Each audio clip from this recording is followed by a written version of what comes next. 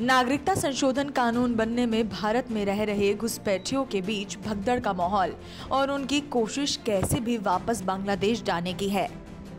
हाल ही में Bangladesh border guard ने साढ़े तीन सौ ऐसे लोगों को गिरफ़्तार किया है जो भारत से भागकर वापस बांग्लादेश जा रहे थे।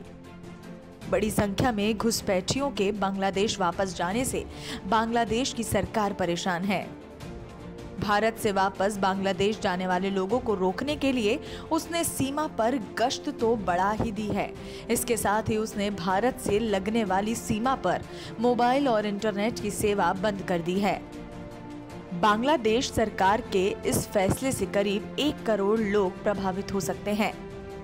हसीना सरकार ने भारत में अवैध तरीके से रहने वाले अपने लाखों नागरिकों की वापसी के डर से ये फैसला किया है। बांग्लादेश टेलीकम्युनिकेशन ऑपरेटर्स ने भारत से लगती सीमा पर करीब एक किलोमीटर के दायरे में सेवा बंद कर दी है। Bangladesh Eli communication regulator commission ने कंपनियों को अपने आदेश में कहा है कि देश की सुरक्षा और मौजूदा स्थिति को देखते हुए अगली सूचना तक मोबाइल नेटवर्क सस्पेंड करने का फैसला किया गया है।